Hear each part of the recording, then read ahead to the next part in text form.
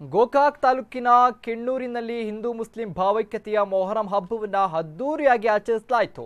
ಐದು ದಿನಗಳಿಂದ ಆ ಭಕ್ತರು ಕಟ್ಕೊಂಡಿದ್ದಂಥ ಲಾಡಿಯ ಜೊತೆ ಕಾರಿಕನ್ನ ದೇವರ ಎಲೆಸಿಯೋದ್ರ ಜೊತೆ ಕೆಲವರು ತಾವು ಬೇಡ್ಕೊಂಡಂತೆ ತೆಂಗಿನಕಾಯಿಯನ್ನು ಎಸೆದ್ರು. ತಮ್ಮ ಹರಕೆ ತೀರಿಸುವ ಮೂಲಕ ಆಚರಣೆ ಮಾಡಲಾಯಿತು.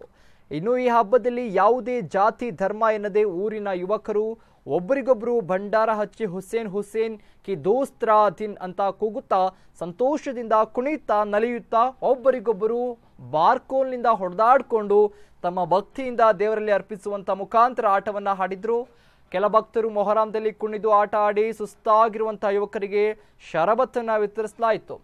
ಅದೇ ರೀತಿಯಾಗಿ ಮೊಹರಂ ಹಬ್ಬದಲ್ಲಿ ಯಾವುದೇ ರೀತಿಯಲ್ಲಿ ಅಹಿತಕರ ಘಟನೆಗಳು ನಡೆಯದಂತೆ ಕೊಣ್ಣೂರಿನ ಪೊಲೀಸ್ ಸಿಬ್ಬಂದಿಗಳಿಂದ ಬಿಗಿ ಭದ್ರತೆ ಸಹ ನೀಡಲಾಗಿತ್ತು.